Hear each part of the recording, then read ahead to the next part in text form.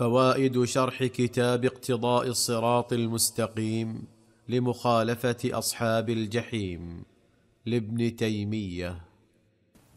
قال هذه المشابهة لما غلبت على المشرق سلط عليهم الترك الكافرون. الشيخ رحمه الله ختم هذا المقطع بأن هذا يجري على سنن قوله صلى الله عليه وسلم لتتبعن سن من كان سنن من كان أو سنن من كان قبلكم حذو القذة بالقذة حتى لو دخلوا جحر ضب لدخلتموه.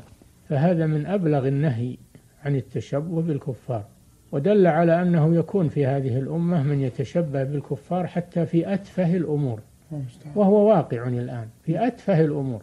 حتى لو دخلوا جحر ضب لدخلتموه. مع أن جحر الضب معروف صعوبته وأنه لا فائدة من من دخوله. لكن لو كان في من كان قبلنا من يعمل هذا العمل لوجد في هذه الأمة من يعمل هذا العمل. وهذا من باب التحذير لا من باب التقرير وإنما هو من باب التحذير عن هذا العمل.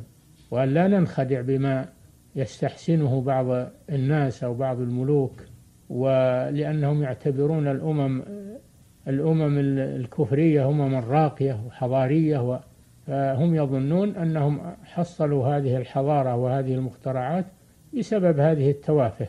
ولم يعلموا أنهم حصلوا هذا بالجد والاجتهاد والطلب وال- والاستمرار في البحث لم يحصلوه في هذه التوافه.